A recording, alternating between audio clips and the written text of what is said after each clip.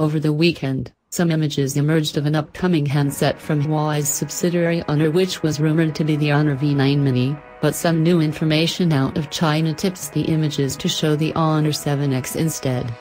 There was little information about specifications of the device shown in the previously leaked images in blue, although it looked to have a screen size of around 5.5 inches.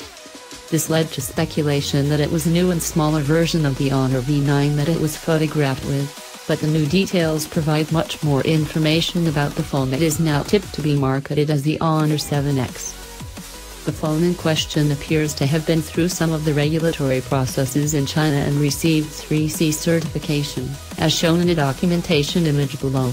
Rumored specs of the device, apart from a 5.5-inch display with full HD resolution, 1920 by 1080, include a Kirin 670 SoC with 4 2GHz Cortex-A52 cores and two 2.2 GHz custom Moscow cores paired with a Mali G72 MP4 GPU for graphics processing.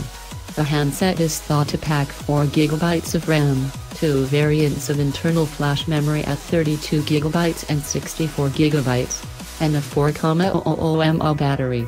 It's also expected to have a dual rear camera arrangement with 12 megapixel sensors, and to be running the Android 7.1 Nougat OS out of the box, skinned with a new 5.